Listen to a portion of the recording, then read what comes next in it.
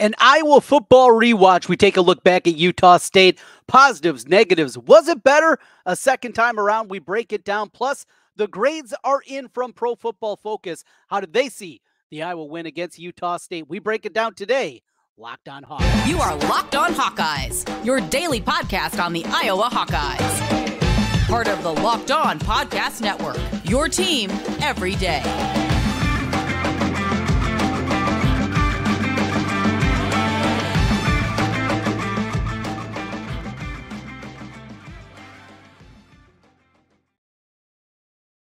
I'm Trent Condon, and this is the Locked On Hawkeyes podcast. Thanks for making Locked On Hawkeyes your first listen every day. We're available wherever you get podcasts. While you're there, give us a five star review. And if you're on the YouTube side of things, hit that subscribe button. Helps us get in front of more Hawkeye fans. Your team every day. That's what we do here on the Locked On Network. And we got you covered as we take a look back at the Iowa win against Utah State. My second viewing after being there in Kinnick Stadium, watching it on TV. A little bit different. We break things down here today. Today's episode is brought to you by Bird Dogs. Go to birddogs.com slash locked on college or you can just go online and enter the promo code Locked On College for a free water bottle with any purchase. You won't want to take your bird dogs off.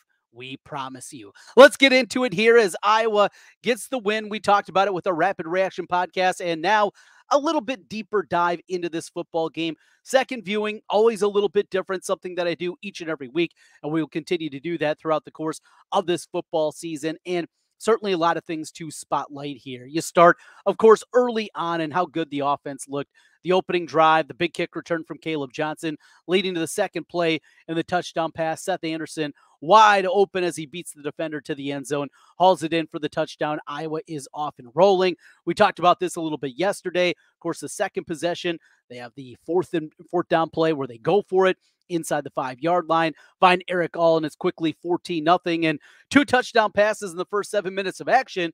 And you think things are off and rolling. Well, they only had one more touchdown uh, to the board. And there were some parts of this game that certainly left you scratching your head. And for all the optimism that we had coming into the season, everything that I was so positive about, the one thing that I guess I just pushed to the back burner was the play calling of Brian Ferentz. And this is a guy that has shown during his seven years now as the offensive coordinator, he's not very good at the job. He is a guy that just does not understand exactly what you're trying to do as a coordinator. Coordinating the offense, the simplest version of what you're trying to do.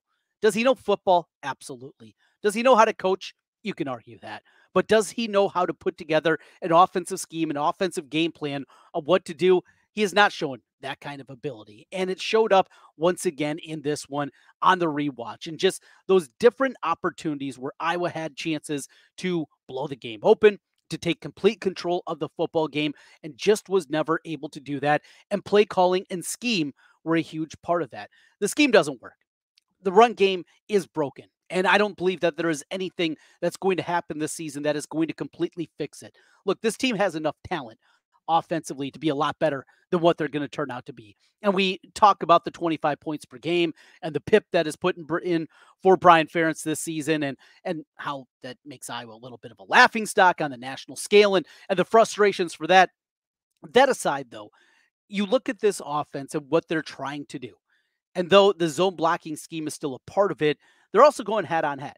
And how many times we saw the offensive line struggle. And it's just, well, one guy misses. Well, one guy misses, you're in trouble. Because when you're trying to block five with five and you're doing it one guy's missing, and no matter how good the tight ends are blocking, and Lachey and Erick All are both excellent blockers. Stilianos is a guy that has stepped forward. Strang is a guy that can help you out. Hayden Large at the fullback position. You put all these things together. Well, when one guy misses, it's going to happen. And this was across the board. Now, this was not just one guy struggling. And we'll get into the numbers from Pro Football Focus and and the breakdown of the way that they saw it because I think it marries pretty well with what we saw. There were some things that uh, we have a little bit of issue with, and we will get into that when we break it down. But here's a perfect example. So Iowa gets the ball back after those two opening touchdowns, and instead of kicking a field goal on fourth and one, instead they decide that they're going to go for it. All right, we're going to go. We're to go big boy football. We're going to line up. We're going to pound it in there. Well, they didn't do that.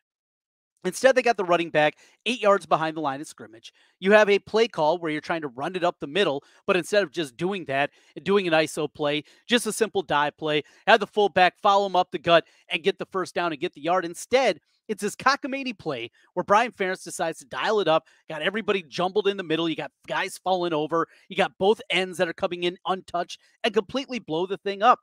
Eh, it's it's those kind of situations where Iowa continually in the Brian Ferentz era has been awful in short yardage situations. This should not be this difficult. It should not be this tough. Yet it is for Iowa. In fact, going back and watching the game, the biggest thing, uh, my biggest takeaway in the running game was schematically the issues that showed up there, and the same thing that I thought being in Kinnick Stadium. But the second part was that if I was not going outside, if they're not doing plays to the edge, they can't run the ball in the middle of the field.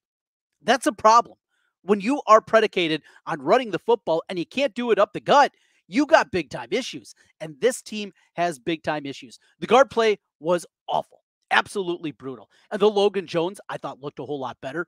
It was not just the weird delay snap that we saw so many times a year ago. That was a way, at least for a game. I thought the tackles played okay at times. I was very impressed at times by Mason Richman, though he had his own whiffs out there. Still, the inside play, the guard play. You go back to the team three years ago, four years ago now. Oh, geez, man, goes fast. You go back to that team that had Tristan Wirfs on one side, Alaric Jackson on the other, Tyler Linderbaum in the middle. You think this offensive line is going to be great. It wasn't.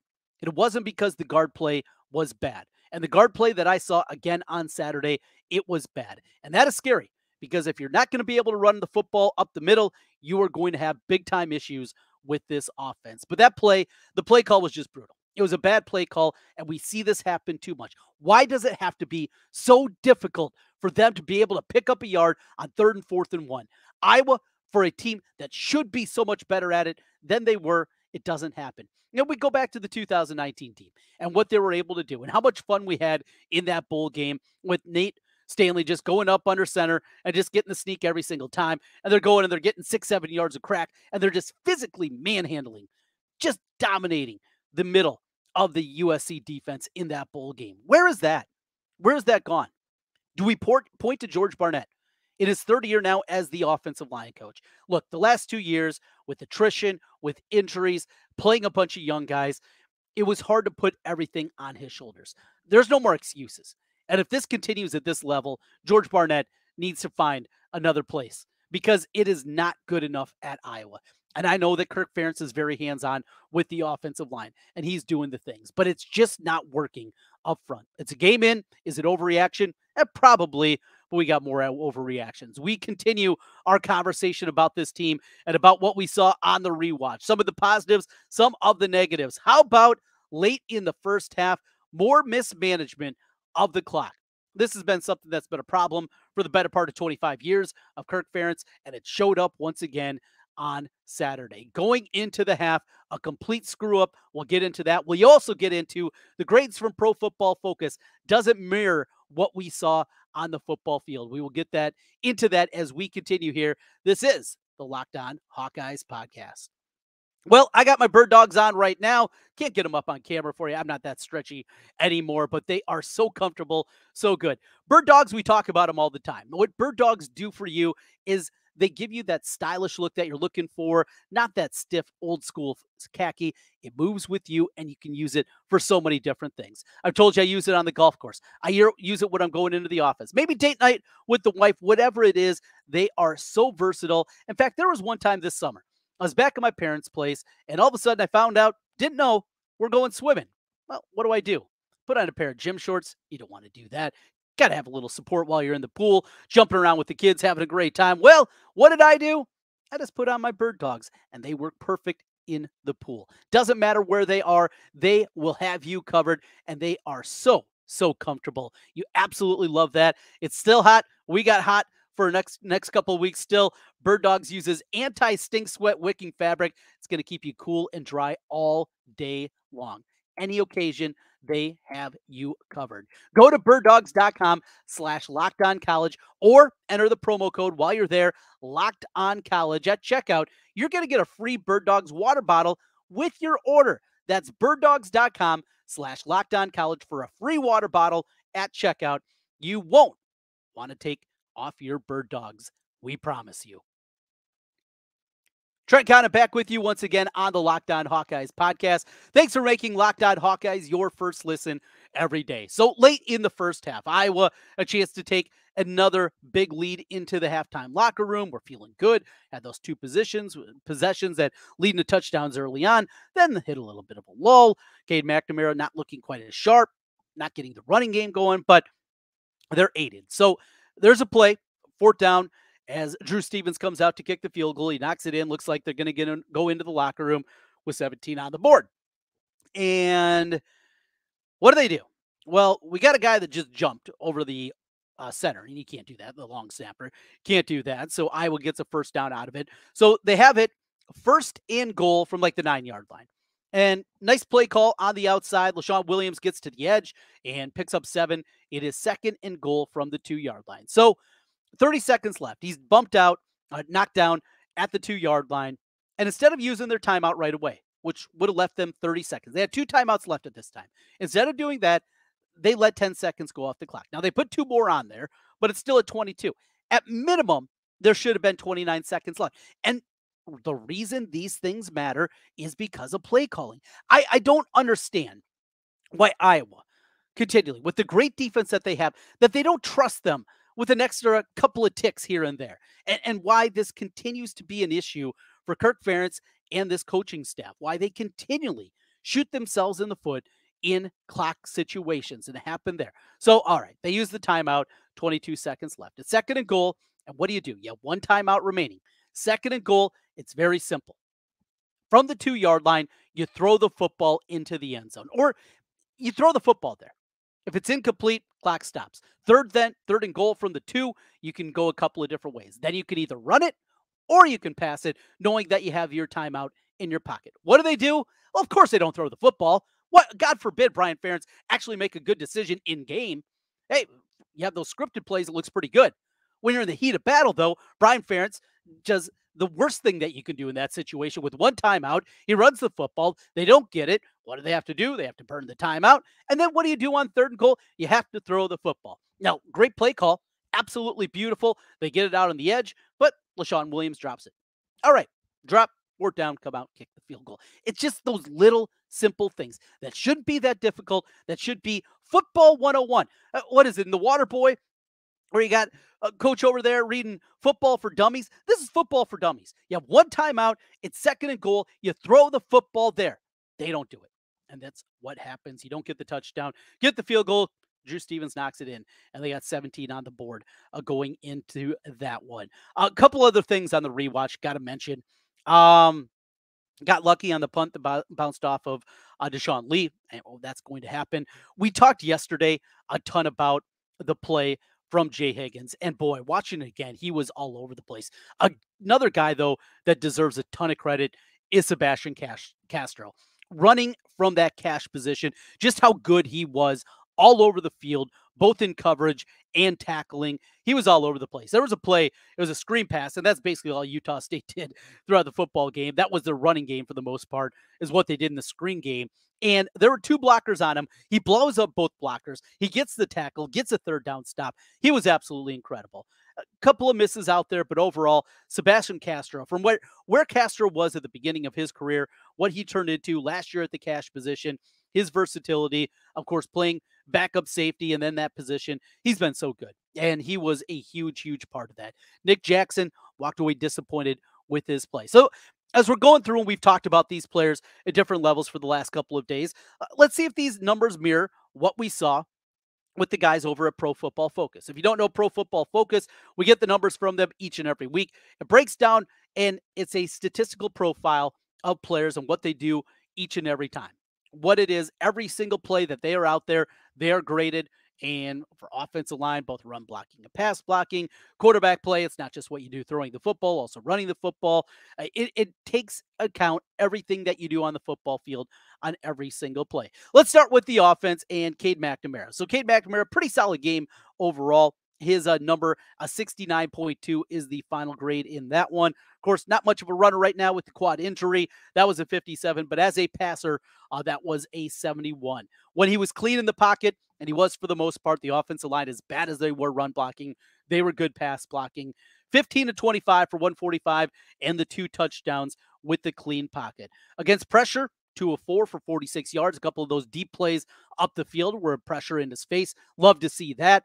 There was no, you know, crap in his pants like we saw some quarterbacks of the past happening. He stood in there, stood tall, didn't fall over, didn't collapse. He stood and made throws, and that's what you want to see out of your quarterback. When he was blitzed for a seven for 59 yards and a touchdown in that situation. So that's what we got out of him. Deacon Hill just won a three, hit his first pass, missed on his next two. Deacon Hill, if he is our starting quarterback, uh, we are in big trouble. Cade McNamara, absolutely have to have him. We talked about the struggles of the running game, and that showed up in the numbers here. I think it was more a run blocking issue than it was a running back issue. Kaleb Johnson, incredibly talented. Jaziun Patterson had that nice screenplay early in the game. Thought he was good. Maybe a little bit more Leshon Williams than I would have liked to see.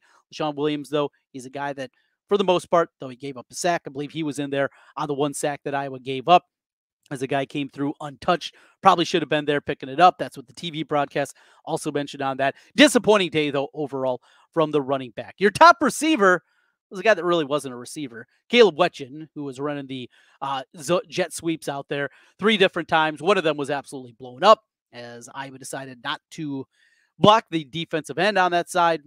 I, I don't know. The first one, that guy was also one block, but he was didn't have his eyes in the right spot, and Wetjen was able to get by him for a big gain. Used him in a different way, in a different kind of look, uh, coming back the other way in the second half of the football game. Of course, didn't have a catch in the game, but he is your top-rated uh, wide receiver. A little bit scary there. A little bit surprised the Anderson. He was a 60.5. Thought that'd be a tick higher. Uh, for his performance. Nico Ragaini played 15 snaps in the game as he comes back from his injury. Had the big play up the left side, also had the drop in the end zone. That could have been a monster play. Would have been difficult. You know, he was looking back, basically straight back for the football. Still one you'd like to see him haul in earlier in that drive. Also, Luke Lachey uh, had a drop there. Kaleb Brown goes with a 52.9. Did not have a catch in the game as he played 21 snaps. Also, a guy without a catch was Diante Vines. He graded out with a 51. Luke Lachey, a 63 and a half. I thought that was going to be a whole lot higher. Seven catches, 73 yards in the game, made a couple of plays, had a drop in there, as mentioned a little bit earlier. Not sure if it would have went for a touchdown, would have been very close. Uh, that's what you get for Lachey and Erick All. Uh, he graded out as well in this one. A little bit lower, uh, 55.5 for Erick All. Looked like his blocking got better, though, as the game went on. In fact, in the fourth quarter, when Iowa scored their only touchdown of the second half, that was Erick All that was actually lined up as fullback on that play. Not a bad idea. I think him in that role could be pretty good. And he grades out at a 55.5. The biggest surprise, though, of the offensive numbers was the grading out of the offensive line. It graded out incredibly well. It graded out incredibly well, though, because of the pass blocking. Not so much on the run blocking side of things. At the front was Mason Richman. He grades out with a 72.7 grade, and 86.8, though, in pass blocking. Nick DeJong was second on the team uh, with a 70.4, and Gennings Dunker right behind Dunker right behind him at a 69.9. Great pass blocking for both those guys. DeJong was an 85 and a 79 for uh, Dunker in the grading scale. Colby was the fifth graded guy in his 41 snaps out there, a 64.3. Logan Jones, solid, not great.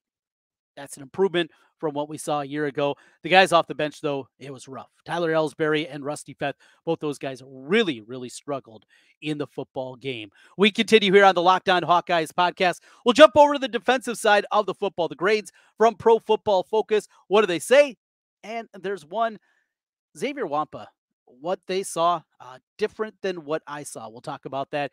Hand out the grades. Also, take a look and see can this running game be fixed? We'll get into that as we roll through here on the Locked On Hawkeyes podcast. Today's episode of Locked On Hawkeyes is brought to you by FanDuel. Get ready for the NFL season with incredible offers from FanDuel. It's America's number one sports book.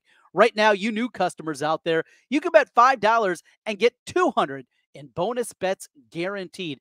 Plus, all customers, new, returning customers, all of us we can bet $5 and you're going to get $100 off NFL Sunday ticket from YouTube and YouTube TV. Now is the best time to join FanDuel. The app super easy to use, and you can bet on everything from the spreads to player props and a whole lot more right now.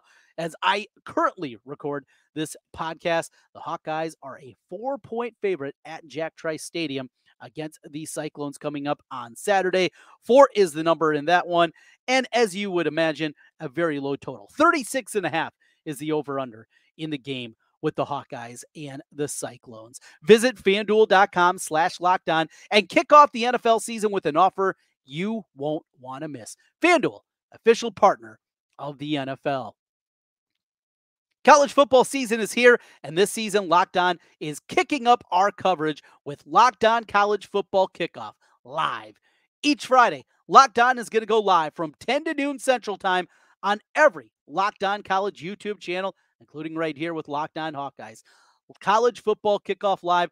Going to cover everything going on in the world of college football. Deion's dominating the headlines, playoff implications. Are you looking forward? Florida State, do we put them number one? Rivalry games. Well, we got a big one here this week with Iowa, Iowa State, and we'll go in depth like only Locked On can, including insight and analysis from our stable of Locked On college hosts, including yours truly, covering your team every day. Find Locked On College Football Kickoff Live every Friday from 10 to noon Central Time on any Locked On College YouTube channel. You won't want to miss this.